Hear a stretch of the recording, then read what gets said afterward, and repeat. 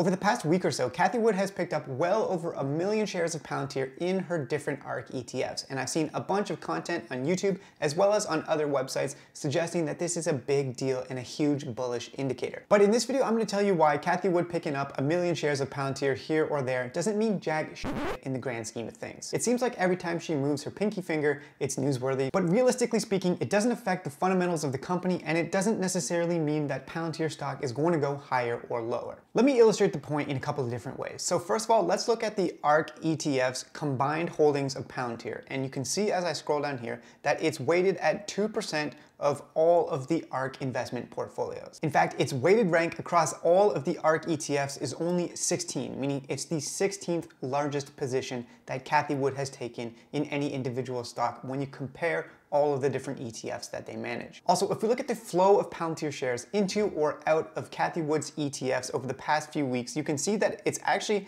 pretty much achieving a balance because at the end of December, they sold over 2 million shares of Palantir across ARK and ARK W, and in the first week or two of January, they've added approximately the same amount. So it's not even as if over the past few weeks, Cathie Wood has dramatically increased her position size in Palantir. More so, it looks like the ETFs were just doing some rebalancing at the end of last year, probably for tax purposes or paying out to shareholders, and now they're trying to reinitiate some of these positions. It's just a balancing act with these ETFs. Also, when it comes to institutional ownership of Palantir, let's look at who actually owns the most. And if we look at this chart here of the top 10 owners of Palantir Technologies Incorporated, you can see that Vanguard Group and BlackRock are way more heavily invested in Palantir than ARK Invest, which comes in at number three with around 1.95% of Palantir's total float. But Vanguard and BlackRock combined are accounting for almost 10%. Vanguard alone has 115 million shares of Palantir and ARK has combined only 37 million. But it's not as if every time Vanguard adds more Palantir to one of its investment products, you're seeing news stories. In fact, what's even more interesting is this final column here, total change, where you can see which institutions are actually loading up more heavily relative to their previous position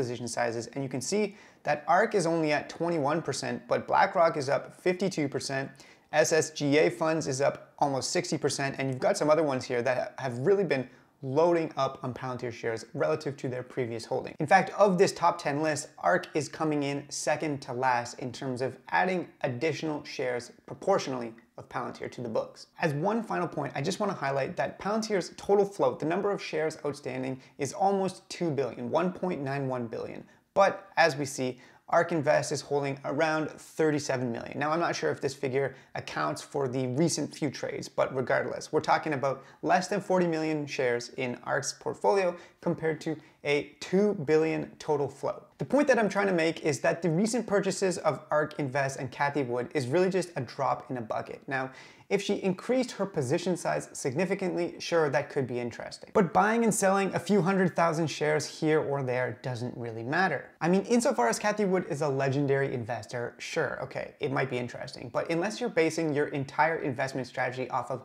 what Cathie Wood is doing today, then honestly, it doesn't mean jack. It's just hype and noise. And Cathie Wood and her funds have bought and sold shares of Palantir and many other companies for many different reasons, which we don't actually know. In my opinion, proper due diligence should be more based on the fundamentals of the business. Are they going out and acquiring new customers? Are they growing their revenue? Are they investing in R&D? Are there emerging opportunities that they can take advantage of? But maybe that's just me. Anyways, if you enjoyed this video, you might also like this one. Thanks so much for watching, and I'll see you later.